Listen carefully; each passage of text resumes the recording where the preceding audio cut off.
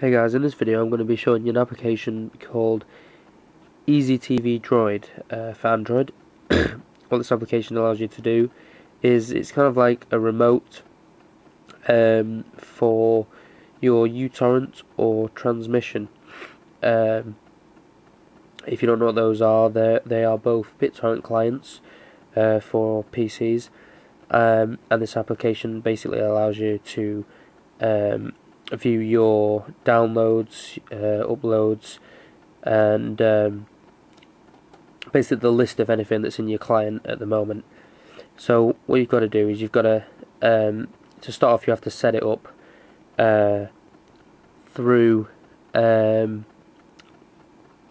the uTorrent web UI or transmission. I'm not too sure how the um, transmission one works, but I know uh, to do it through uTorrent you go to your preferences and then go to web UI, set up a password, um, which port you want to go through, and then basically you start off by downloading this downloading this app, going into uTorrent setup, put everything uh, in there, password, uh, username, host address, and port number, and set your refresh interval, and then away you go.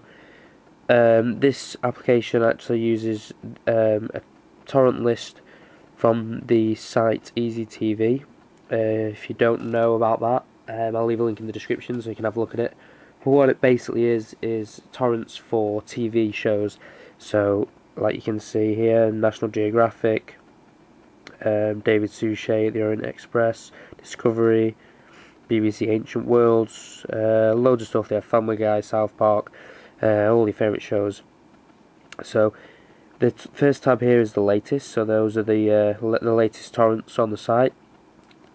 Second tab across is shows, which should bring up a list of shows there. Um, you can actually search as well if you type in the top.